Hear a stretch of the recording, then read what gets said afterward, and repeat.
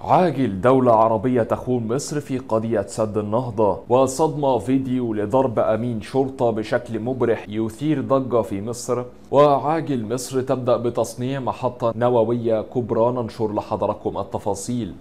في البداية عاوزين نصلي على الحبيب محمد قبل ما نبدأ في تفاصيل الأخبار. اشترك في القناة من زرار الاشتراك الأحمر أسفل الفيديو. ده مهم جدا عشان تجيلكم أهم الأخبار.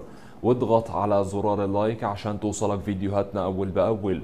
عاوزين نوصل ألف لايك على هذا الفيديو. قبل ما نبدأ في الأخبار اللي بيحب مصر ووطني فعلا يفجر التعليقات بكلمة تحيا مصر. عاوزين نوصل أكتر من ألف تعليق مكتوب فيهم تحيا مصر وانتوا قدها ووطنيين. نبدأ بتفاصيل أول خبر معانا وصدمة فيديو لضرب أمين شرطة بشكل مبرح يثير ضجة في مصر.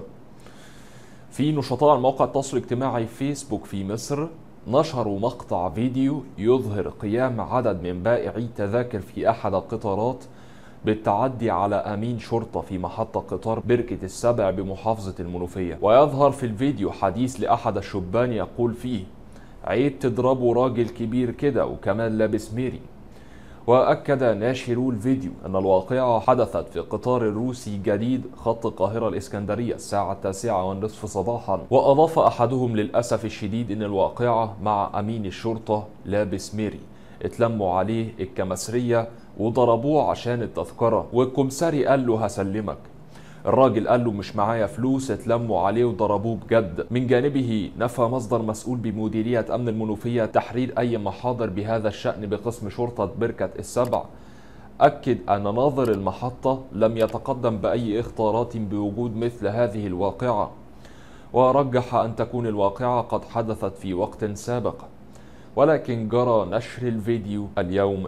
تزامنا مع الفيديو الخاص بواقعة قيام أحد بائعي تذاكر في قطار منوف بالتعدي على أحد الركاب بأن صفعه على وجهه أمام ابنته الطفلة وباقي المواطنين لامتناعه عن سداد غرامة بقيمة 21 جنيه.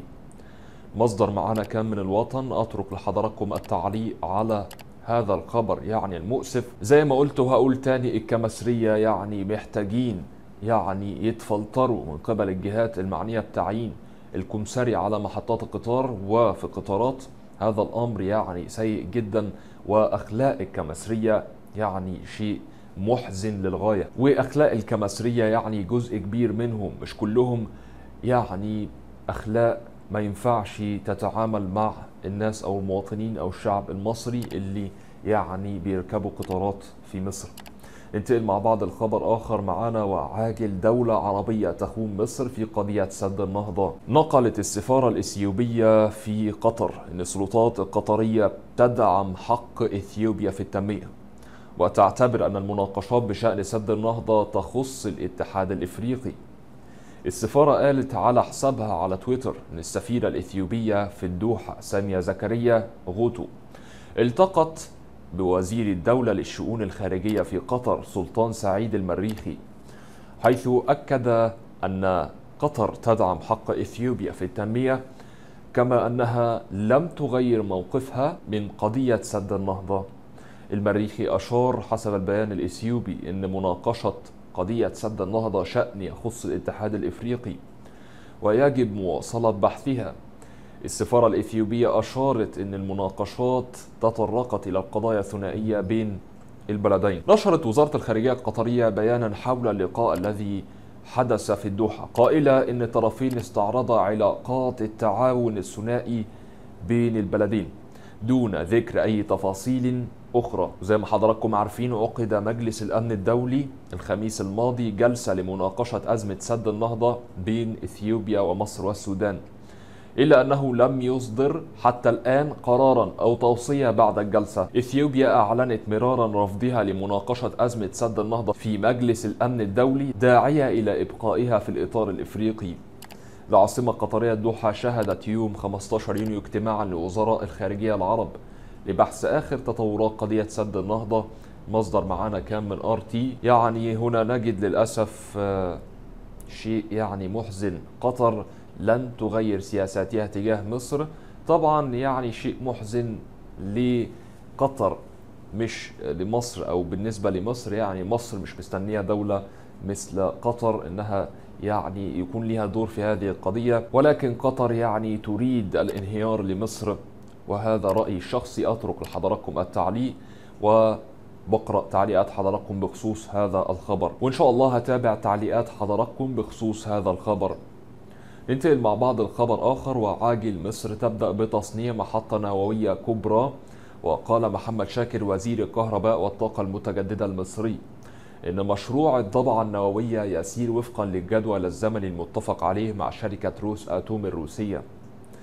محمد شاكر أكد أنه لا توجد أي معوقات لتعطيله على أن تبدأ أول عمليات التشغيل المحطة في عام 26 وأعلنت مصر عام 2015 عن توقيع اتفاق مع شركة روس أتوم الروسية لإنشاء أول محطة نووية لتوليد الكهرباء بقدرات تصل ل 4800 ميجا وات وقامت بإسناد أعمال تجهيز وإعداد المواقع لعدد من شركات المقاولات المصرية بعد حصولها على موافقة الجهات المختصة على صلاحية الموقع لبناء المحطة وسلمت مؤخرا هيئة الرقابة النووية والإشعاعية الوثائق والتراخيص اللازمة للحصول على إذن إنشاء المحطة. أفاد شاكر خلال تصريحات صحفية أن رئيس شركة روس آتوم كان في زيارة لمصر لتفقد مواقع المحطة ودعاهم لحضور حفل تصنيع أول أجزاء المحطة النووية التي سيتم في روسيا خلال الشهر المقبل.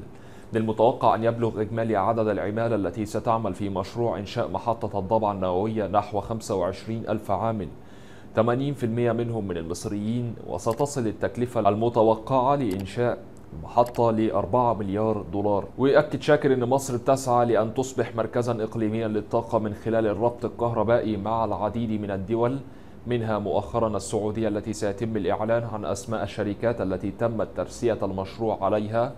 خلال شهرين. أشار أن قدرات الربط مع السعودية ستصل ل 2000 و 3000 ميجا وات وأضاف أن الوزارة حريصة على زيادة قدرات الربط الكهربائي مع الدول الثلاثة الموقعة معها على اتفاقية ربط كهربائي وهم.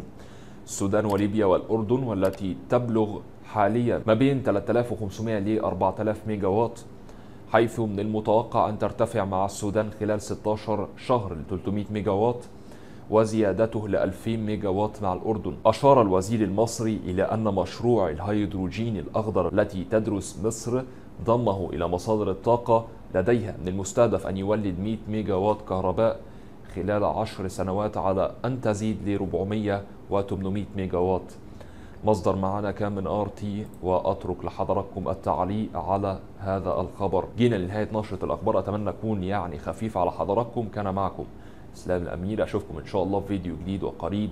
والسلام عليكم ورحمة الله تعالى وبركاته.